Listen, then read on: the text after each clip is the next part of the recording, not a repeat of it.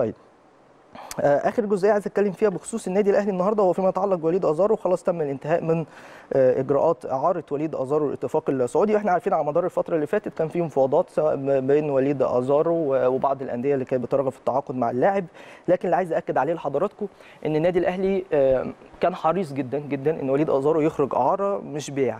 ليه؟ لأن النادي الأهلي جهاز فني مسؤولين الناس كلها مقتنعة بقدرات وليد أزارو ولكن أيضا مقتنعين أن الفترة دي مش فترة وليد أزارو أو غير موفق حاليا فكان الأفضل دايما سواء لوليد أو لل- للنادي أن وليد يخرج الست شهور دول يحاول بإذن الله يستعيد آه، ثقته في نفسه اولا ويستعيد قدراته التهديفية المعهود عن خلال آه، من- منذ انضمامه للنادي الأهلي تحديدا يعني علشان إن شاء الله يرجع للنادي الأهلي في قمة مستواه ويقدر النادي الأهلي يستفاد منه بالشكل الأنسب.